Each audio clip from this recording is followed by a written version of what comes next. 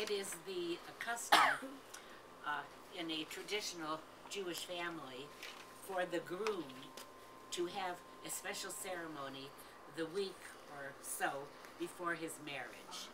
He is called up to the, uh, the, the Torah, he has a special blessing, and he chants a special prayer. And sometimes uh, the uh, bride to be is called up to do something also. And that's very important. Okay. Yes, it's, and as I said, it's very traditional. And just recently, our grandson uh-huh. did that. Oh. So, That must have been exciting for both of you. yes, it was. Must have It was. We, good. we did get there, you know, in our chairs and carts and Oh, so on. good. But it was, it was very sentimental and lovely. And many, many people were there. Well, I found the, the dedication book, and 1932 was when the synagogue was dedicated. I think Rabbi Hillel Silver spoke at the dedication. Wow. Wow. He's a uh, very famous rabbi from um, Congregation Tifereth Israel in in Cleveland. Yes. Silver, and they call it the Silver's Temple. It was known as Silver's Yeah, Temple. Yeah, and it's on in University Circle around Wade Park. That's where it is. And He it was one of was the, uh, a speech that he gave in before the UN at the time that affected the vote of uh, of Israel being able to become a, a country, a state.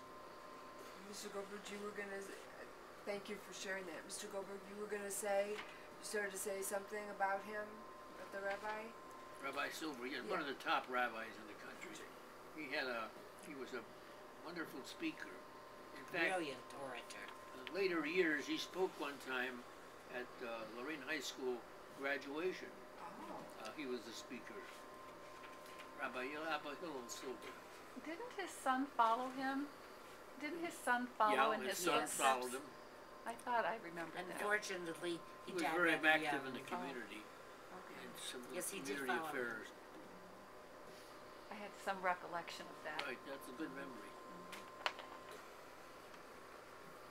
You know, as I say, after I came home from the service and we merged, I mean, we joined, to put it this way. Okay. Give up and join, decided to join the, the, uh, uh, Ninth Street congregation.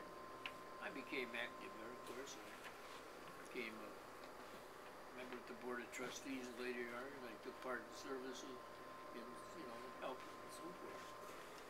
When I was in the army, many times we were located in camps where they didn't have a, a Jewish chapel.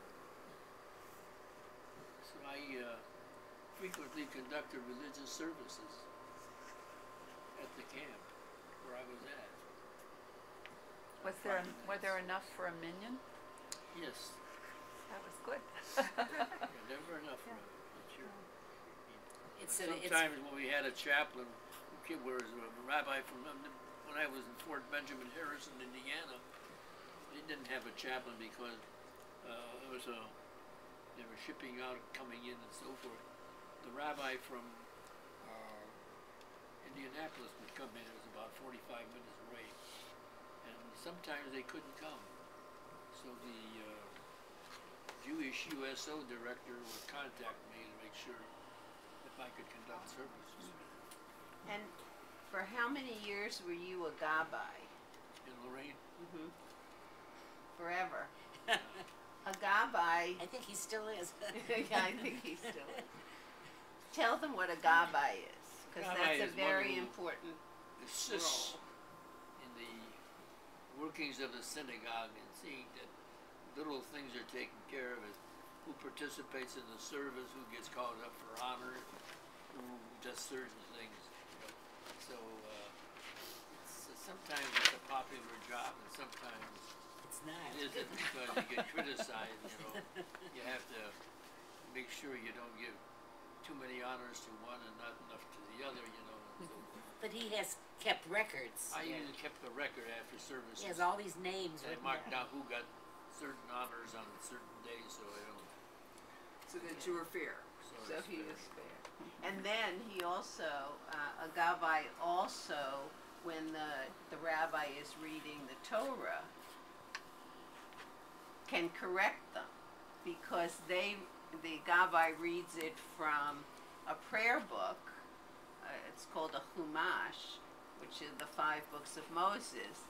And, um, but the person reading from the actual Torah does not have the privilege of having vowels to help them read the words. And um, the gabbai would do the corrections of that person because you can't read the Torah wrong.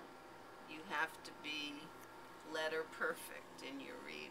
So you have to be careful because sometimes some of the Torah readers are a little, it when you correct them too often. right. So you gotta do it very quiet. So that's a big responsibility. Yes, it sounds is. like. You know, it's uh, sort of ironic. Um, there was the an obituary in today's paper about someone who passed away from Lorain. His name is was Rudy Sorrell. He was a good friend of the family.